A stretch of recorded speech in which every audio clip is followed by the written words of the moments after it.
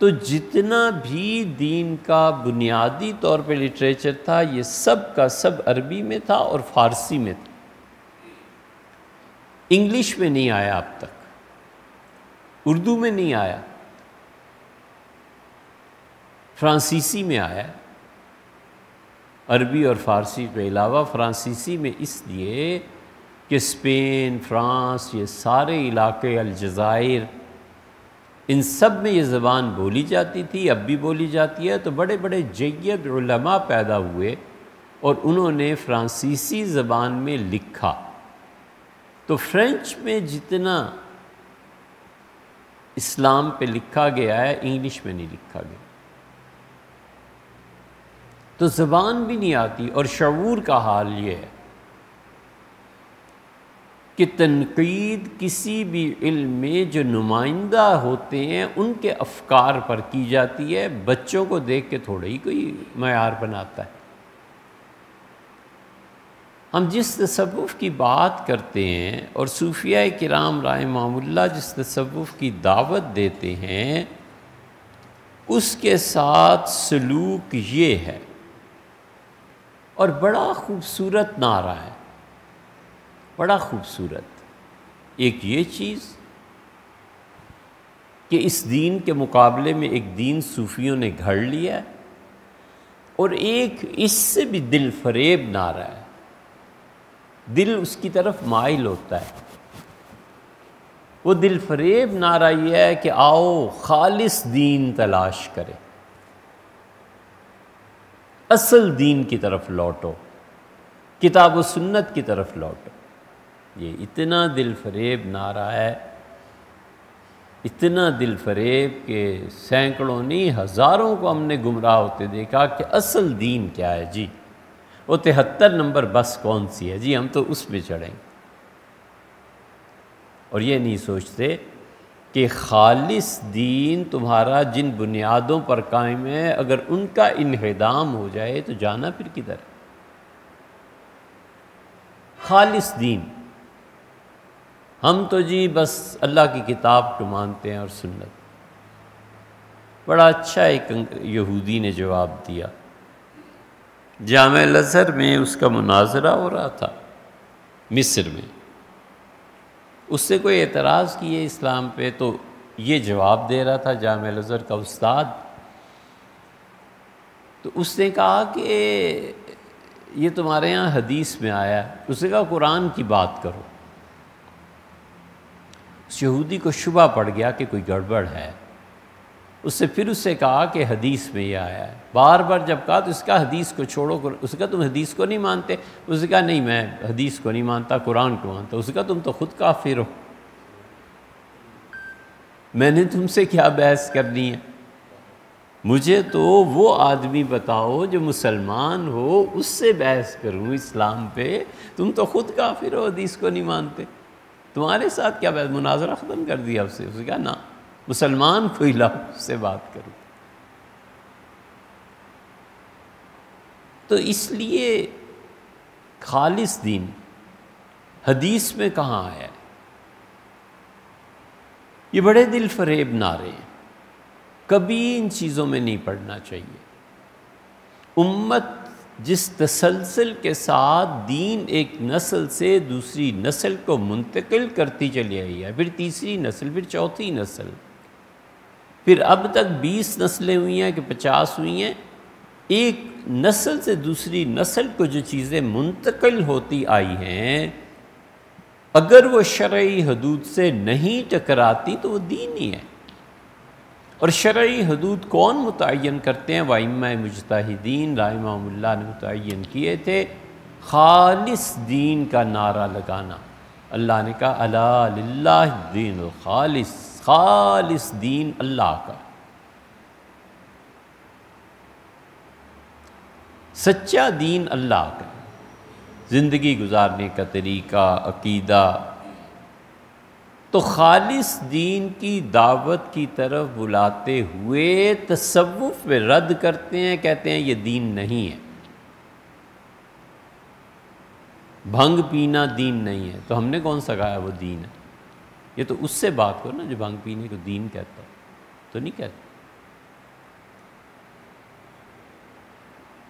हम तो नहीं कहते कि ये खुराफात दीन है। इसलिए बड़ा दिल फरेब नारा है। और इल्म का हाल ये है, मैं ऐसे ही एक दो मिसालें आपको देता हूँ। ये नहीं है कि कोई उसकी वकालत कर रहा हूँ। मलंग टाइप के लोगों को आपने देखा होगा, डालियाँ लेके जाते हैं, नंगे पाँव जाते हैं। तो एक साहब ने मिसाल इसी की और भी दो तीन मिसालें दी, एक मिसाल की भी थी। उन्होंने कहा, ये है तसवुफ़ आपका। गाड़ी में सफ़र था तो वो बरीमाम पे जा रहे थे, नंगे पाँव ढोल बज रहे हैं कि ये है तसवुफ़ तुम्हारा। मैंने कहा इस पर से क्या चीज़ आप समझते हैं कि इसे हम तसवुफ़ कहते हैं ढोल पीटने को तो नहीं ना कहते? इस उछल कूद को तो नहीं कहते? क्या ये नंगे पाँव, इतनी गर्मी तो बार बार हदीस के हवाले देते थे। मैं उनसे कहा कि आपको पता है कि सैदना उमर रज़ी अल्लाह जब ईद की नमाज़ पढ़ाने सहरा जाते थे तो नंगे पाँव जाते थे। तो किसी ने पूछा अमीरमिन आप नंगे पाँव जाते हैं? तो उन्होंने कहा, ईदगाह, ये अल्लाह के शायर में से है। वो ऐसी चीज़ों में से है जिसे देख के खुदा याद आता है। तो मैं इस जगह के अदब और एहतराम में नंगे पाँव जाता हूँ कि अल्लाह की जगह है, अल्लाह के घर है, अल्लाह की याद दिलाती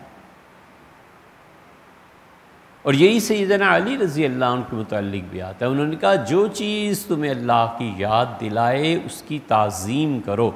और इस ताज़ीम में ईदगाह को नंगे पाँव जाता मस्जिद की तरफ़ नंगे पाँव चल पड़ता मैंने कहा, तब उन्होंने क्या किया था ये? बे इख्तियार फरमाया, है, हदीस में आया क्या जी हाँ हज़रत थोड़ा सा और पढ़े। हर चीज़ उसको गुमराही करार देना, ये सख्ती नहीं चाहिए। लोगों पर के साथ नरमी का रवैया चाहिए। हर एक पे रद्द, हर एक पे रद्द गलत बात। बहुत सी चीज़ें। सहाब राम रज़ी अल्लाह से साबित। क्या वजह, ज़रूरत क्या है उस पर एतराज़ करने की? इसकी जद में कुरून उला आते। तो दीन खालिस खालिस दीन। और फिर सारे सहाबा के राम रज़ी अल्लाह पे फतवा थोड़ा ही दिया जा सकता है। ख़ुद ये बात समझने की है कि सहाबा के राम रज़ी में कुछ फतवे थे जो कुछ उन्होंने इजतहाद किया इस बिना पर, या जो उनकी शख्सी हालत थी इस बिना पर। बस, उम्मत ने नहीं माना। का हज़रत का फतवा है? बस ठीक है, उनकी अपना ज़ाती इजतहाद है। हम उसके मुकाबले में जो पूरी उम्मत है, उसको नहीं छोड़ेंगे। दो मिसालें आपको उसकी दूँ। कुर्बानी क्या है?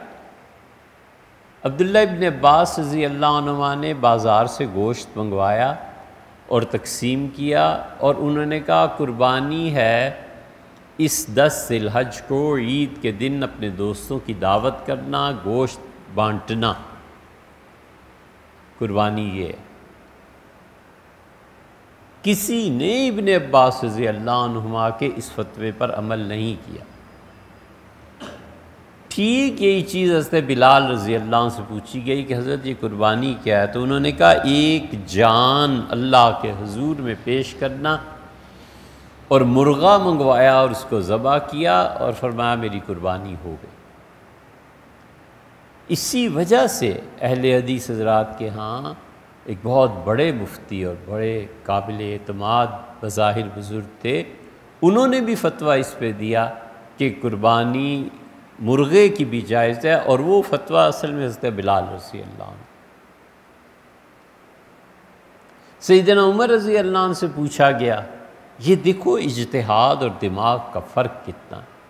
उन्होंने कहा, अल्लाह ने कुरान में आठ जानवरों को ज़बह करना उनका गोश जायज़ करार दिया अल्लाह ने कहा है कि मिनल बकर इसनईन और जो बड़े जानवर हैं, गाय और बैल